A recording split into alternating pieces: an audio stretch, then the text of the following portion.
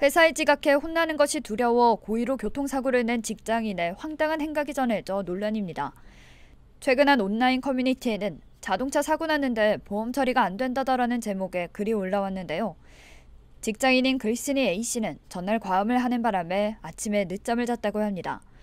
그런데 하필 다음 날이 회사 상사와 출장을 가기로 약속된 날이었고 지각이 두려웠던 A씨는 핑계를 생각해냈다는데요.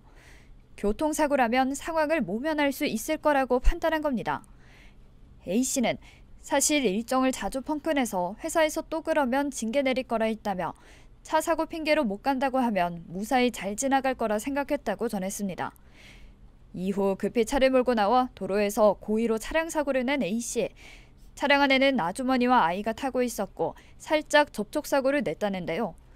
결국 차량 사고 소식을 들은 상사는 황당함을 표하며 먼저 출장을 떠났지만 문제는 이후 보험 처리였습니다. A씨는 보험으로 어떻게든 해결될 거라 생각했지만 보험사 측에서 사고 경위를 파악하고 고의로 낸 사고임을 알게 되자 보험 처리 불가라는 입장을 보인 건데요. A씨는 충돌한 차량이 고급 외제차라 대인됨을 합치면 몇 천쯤 나올 것 같은데 지금이라도 보험 처리할 방법이 없겠냐고 조언을 구했습니다. 사연을 접한 네티즌들은 고의로 사고 내놓고 보험금을 바라냐? 이게 가능한 일인가? 그걸 사실대로 말했다는 것도 황당하다.